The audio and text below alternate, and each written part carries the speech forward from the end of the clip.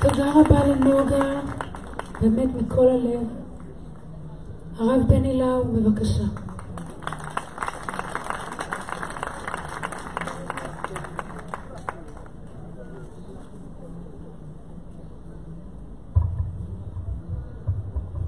מגילת איכה נכתבה בדמע, איכה ישבה בדד, עיני עיני יורדה מים. מגילת איכה כמות שהיא לפנינו על כל פרקיה היא מגילה שכבר הכל נגמר, כשהכל חרב. אבל אני רוצה את הדקות הראשונות של הלימוד המשותף של ליל תשעה באב, שלי איתכם, שאני מאוד מתרגש להיות כאן, לדבר על המהדורה הראשונה של מגילת איכה. כן, הייתה למגילת איכה מהדורה שלפני המהדורה שבידינו, והמהדורה הזאת מתועדת בתנ"ך. ספר ירמיהו מתאר עשרים שנה לפני החורבן הגדול, לפני השריפה, לפני שהבבלים צאו ועלו והחריבו והשמידו והגלו, לפני הכל. כשירושלים הייתה איתנה ועם ביטחון ועם איזה קשרי חוץ, ואולי חברים ב-OECD וכל מיני דברים שכאלה. והיה שם מלך. למלך קראו יהויקים. איכשהו האיש הזה נחלץ מהזיכרון הקולקטיבי שלנו של המלכים הכי רשעים בעולם. יש לנו רשימה כזאת, אותו לא זוכרים, התפלק לנו. הוא היה מהגרועים שבכולם. הוא היה 11 שנים מלך. הוא היה מלך בחסות אימפריאלית. הייתה אימפריה כאן באזור, המצרים. המלך המצרי קראו לו פרעה נכו, שושלת הפרעונים, אבל אחר. השנים אנחנו יודעים אותם, 609 עד 597, מדויק, הכל מדויק, הכל ממוסמך. והמלך הזה היה בחסות האימפריאלית נוהג לחיות כאדון ולא כמשרת ציבור. אבא שלו היה אדם, גם מלך, אבל כל ליבו היה מה אפשר לעשות למען החברה. לאבא שלו קראו יאשיהו. והמלך הזה, יהויקים, הלך והשחית את הארץ, הלך והתנכר מן העם, הלך והשתרר מעלה ומעלה. וירמיהו, שהיה כל כך אוהב של אביו של אותו מלך, יאשיהו, רואה את המלך החדש והיהיר הזה הולך ומסתגב לו לגובי מרומים. וירמיהו הפך להיות המר שבנביאי ישראל. הוא לא היה כזה. הוא היה אדם אופטימי. הוא היה אדם מלא תקווה.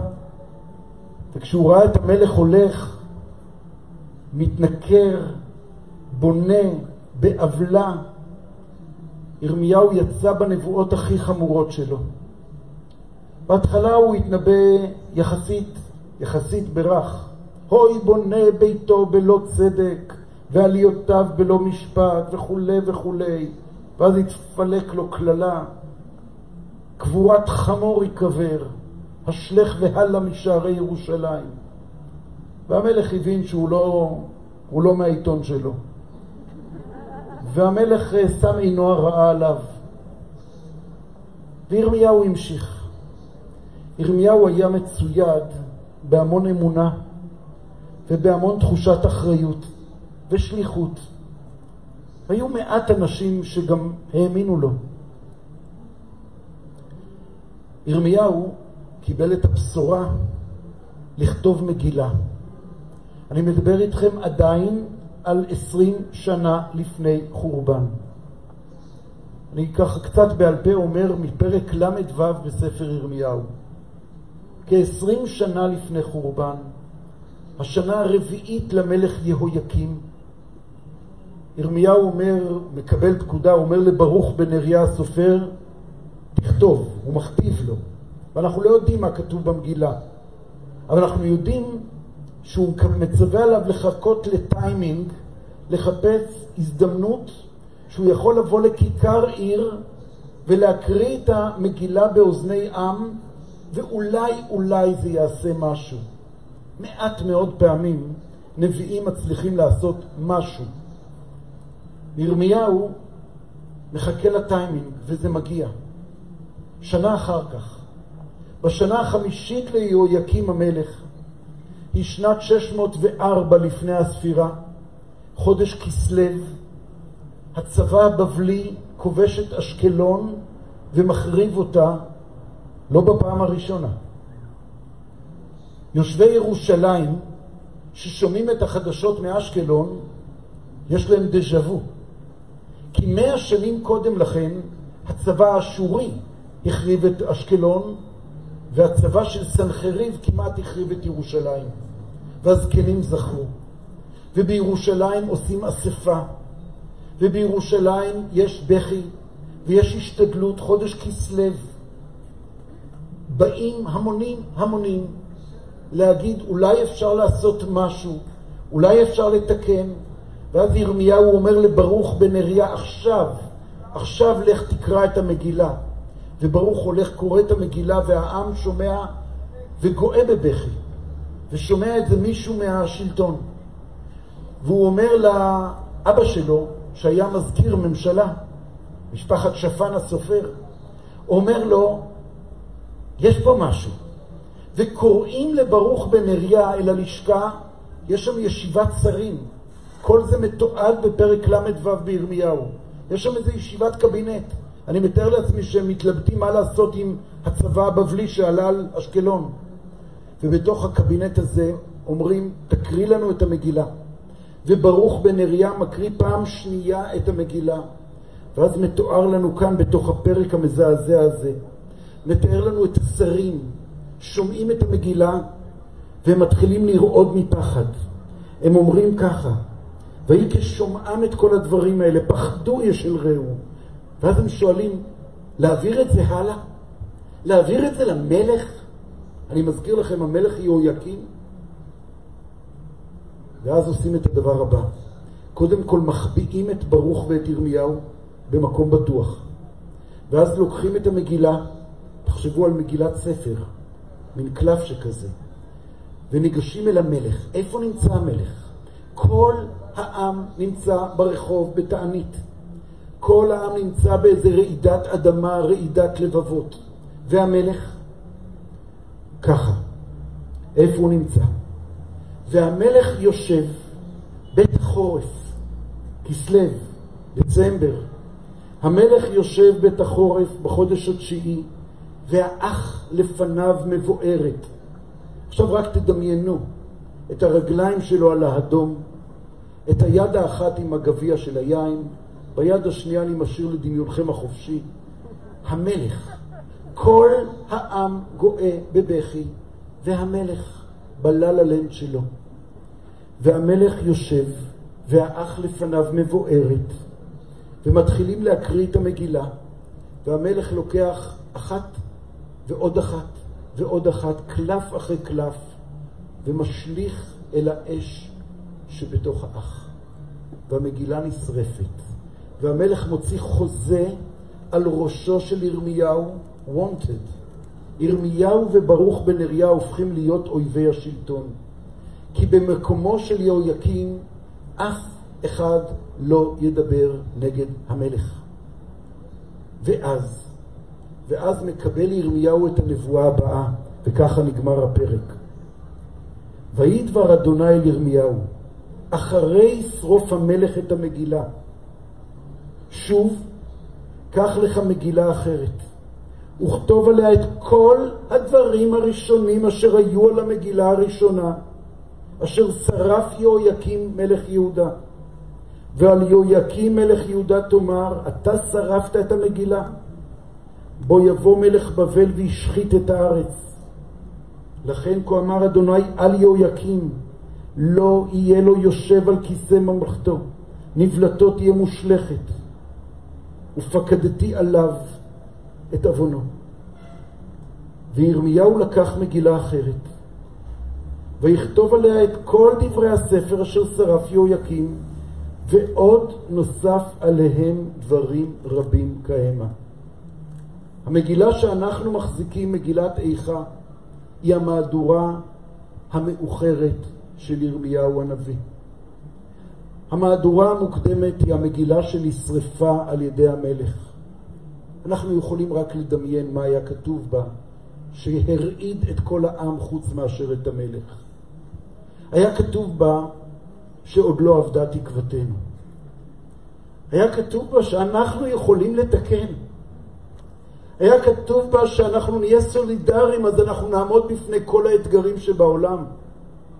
היה כתוב בה שכשרואים אחד את השני, כשלא מתנכרים, כשלא מתעלמים, כשלא מסתררים, אלא מייצרים תנועה של חיים, שם אנחנו נחיה כעם, כחברה, כמדינה.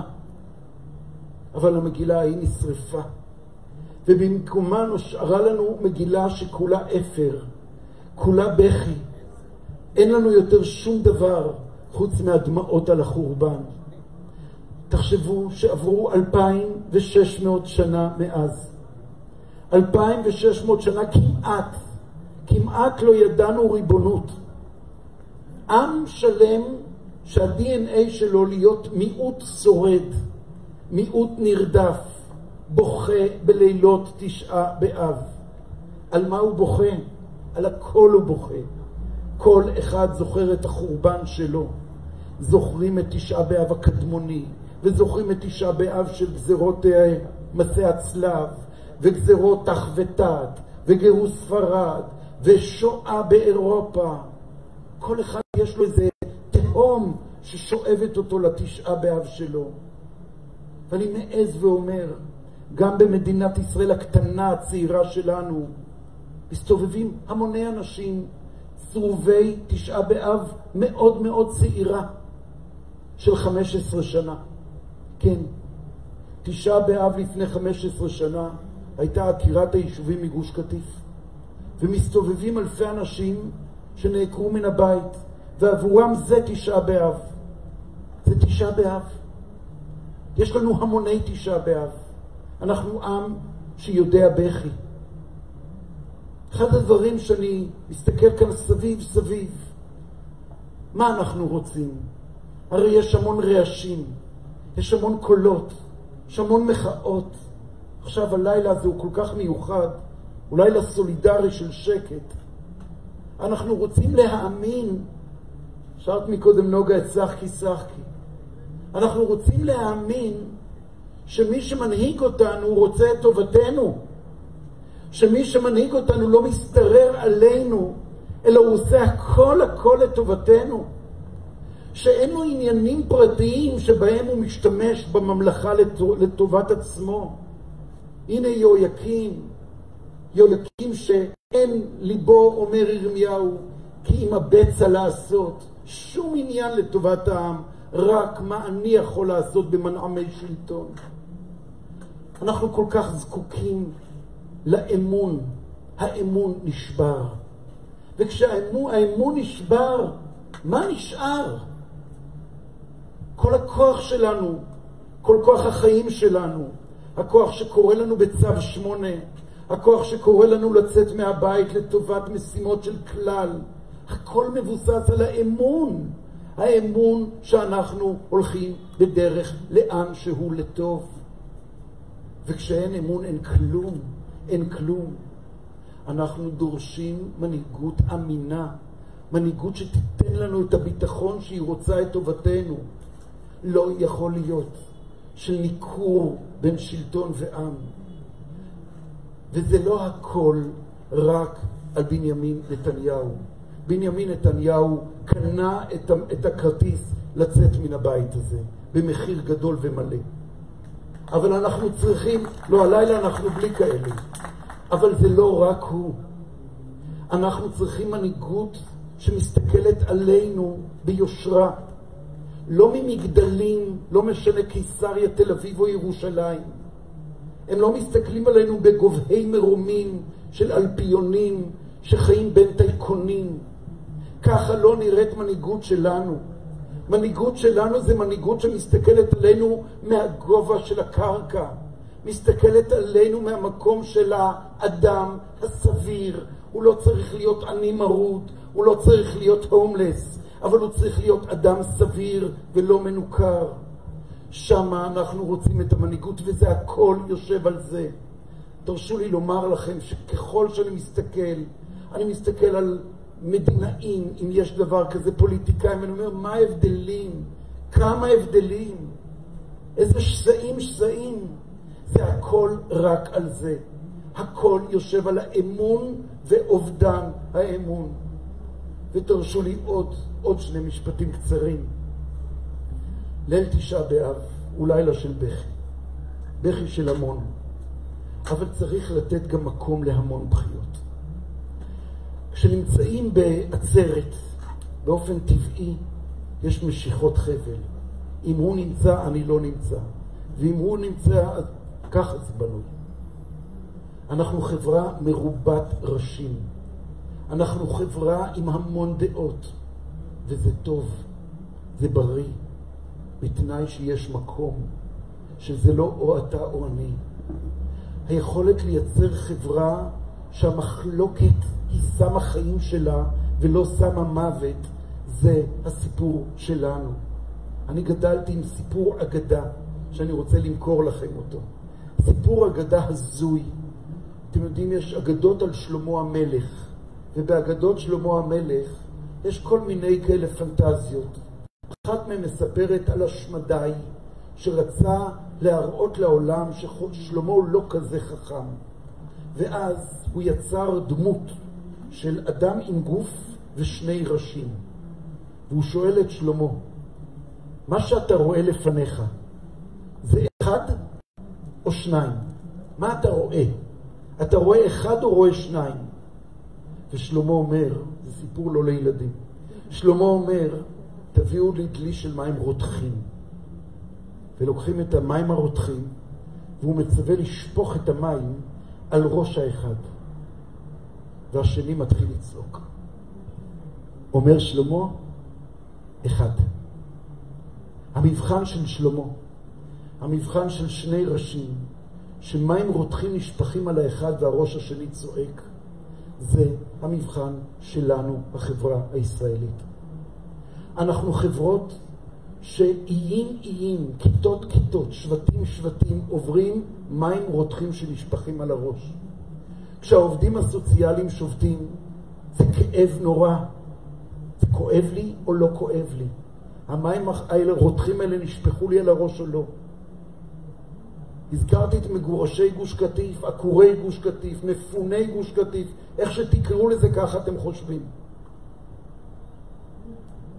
יכול להיות שהיה צריך אה, לעקור, לפנות, אבל אנשים מדממים. זה כואב לי או לא כואב לי? זה ראש אחר, זה לא הראש שלי. אבל זה כואב או לא כואב? המבחן של האחד זה הכאב בראש של האחר. אפשר להתעמל על זה, לא צריך לשפוך מים רותחים. אפשר להתעמל על זה כשאני רואה, אתם יודעים, בבעיה בפייסבוק שאני רואה רק את עצמי. צריך להתרגל לראות גם את האחר, לשמוע את הכאב של מקום שזה לא אני. מרחק קטן מאוד מכאן, מזרח ירושלים. אני רואה או לא רואה? מרחק מאוד קטן מכאן, שכונות החרדים, אזור מאה שערים. אני רואה או לא רואה? מרחק עוד יותר קטן מכאן, שכונות מאוד חלשות של דרום ירושלים. אני רואה או לא רואה? אנחנו עיר מלאת כאבים. עיר מלאת מלאת צעקות, אבל כל הצעקות הן אמיתיות. זה לא קקופוניה, זה צעקות של מלא מלא ראשים, וזו התעמלות בנפש. כן, נפש יהודית, של מדינה יהודית, שאומרת, אנחנו רוצים ללמוד איך עושים ריבונות. אנחנו לא יודעים להיות ריבון. זה נכון, זה מתחיל שם בבית הזה, שחייב להיות לא מנוכר. אבל אי אפשר לחכות לשם. זה מתחיל גם כאן. זה מתחיל בהתעמלות שאני עושה, להרגיש ראש של מישהו אחר שכואב, ושהלב שלי יחזיר פעימה. שמה מתחיל התיקון של החברה. תודה.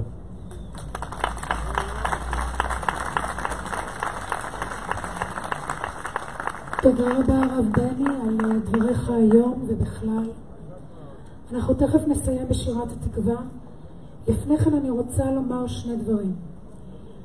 דבר אחד זה תודה רבה למארגנים ולמארגנות, ותודה מכל הלב לכל אחד ואחת מכם שבחרתם לכונן בבחינת כן, לבנות כן משותף לכולנו בערב הזה. והדבר השני, כשתקומו ללכת, אני מבקשת שתשימו לב להשאיר נקי, שלקחתם איתכם הכל, לא להשאיר שום דבר על הכביש. זה לאף אחד אחר לא יעשה עבורנו את העבודה של לשמור על המדינה שלנו, כולל לשמור על ניקיונה. סעו בזהירות, שמרו על הבריאות ובשורות טובות, התקווה.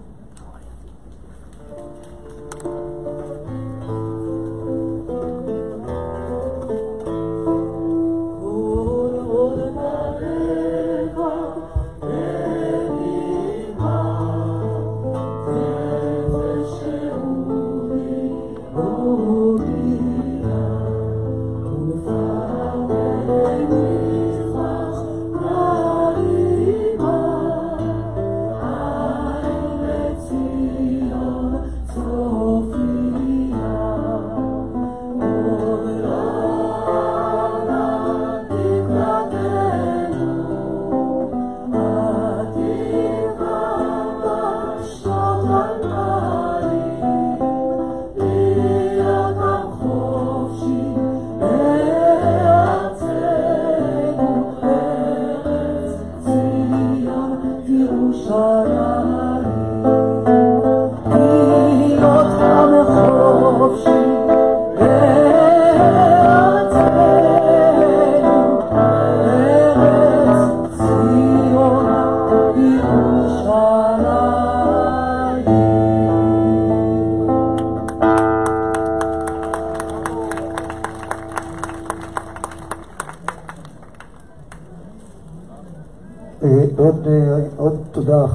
אנחנו רוצים מאוד מאוד מאוד להודות לתנועות שמובילות את המאבקים האלה, קריים מיניסטר, מחאת היחידים,